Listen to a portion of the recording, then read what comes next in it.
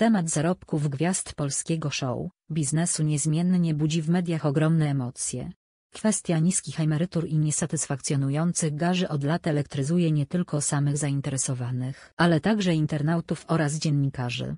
Grono artystów, którzy są niezadowoleni z przysługujących im pieniędzy jest całkiem spore i należy do niego zarówno wiele aktorek jak i aktorów, muzyków oraz dziennikarzy, prezenterów, a czasem także byłych sportowców.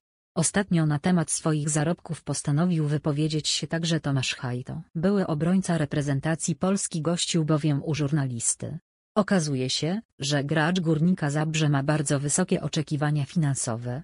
Tomasz Hajto po przejściu na sportową emeryturę nie zwolnił tempa i zaczął angażować się w kolejne przedsięwzięcia. 50 przecinek latek, który w swojej karierze grał m.in. w Schalke 04 i Southampton. Miał okazję sprawdzić się nie tylko w roli zawodnika, ale także jako trener i komentator sportowy.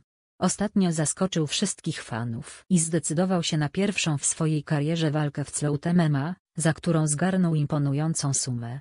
Były gracz biało-czerwonych. Za swój udział w gali zarobił aż 400 tysięcy złotych. Choć ta kwota robi na wielu Polakach ogromne wrażenie, dla Tomasza Hajty nie jest tak wysoka, jak to by się mogło wydawać. Sportowiec zapytany przez żurnalistę o to, ile wydaje miesięcznie, odpowiedział w dość zaskakujący sposób. Ile pieniędzy miesięcznie potrzebujesz do szczęśliwego życia? Zaczął prowadzący podcast.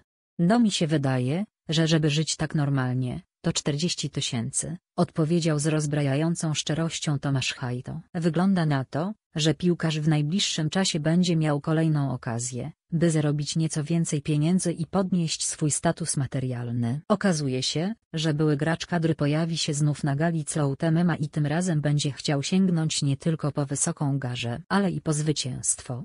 Pod koniec października Tomasz Hajto stoczy swoją drugą walkę.